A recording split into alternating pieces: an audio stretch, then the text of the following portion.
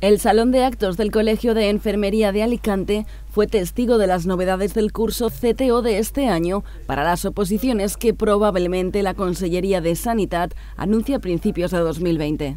Para ello es necesario que los colegiados estén formados y preparados con cursos como el que este año presenta el grupo CTO. Vamos a iniciar en el mes de enero, el día 16, el curso de grupo de tardes, jueves por la tarde, para la OPE que, convocó la Consejería de Sanidad de 2017-2018.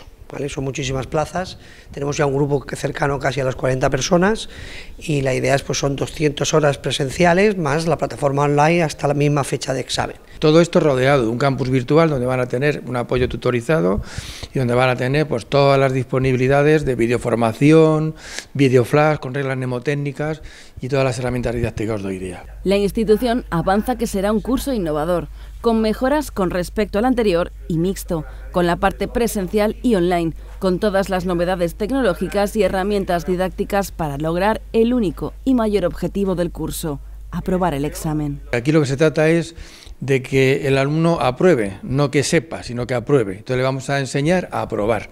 Entonces vamos a empezar a hacer muchos simulacros, muchas dinámicas que trabajan fundamentalmente en la línea de mejorar el entrenamiento en el test. Aumentar la interactividad, la participación y el protagonismo del alumno forma parte del diagrama con el que el profesorado trabajará. Profesores que tienen muchísima experiencia, que algunos incluso han formado parte de tribunales, tribunales de oposiciones eh, y realmente súper expertos en esta materia. El CTO tiene un filtro continuo sobre qué tipo de profesores son los más idóneos en cada caso. El curso apoyará a sus alumnos de manera docente y motivacional, con la finalidad de seguir formando y llevando al mercado laboral a nuevas enfermeras que perfeccionarán los cuidados y la atención.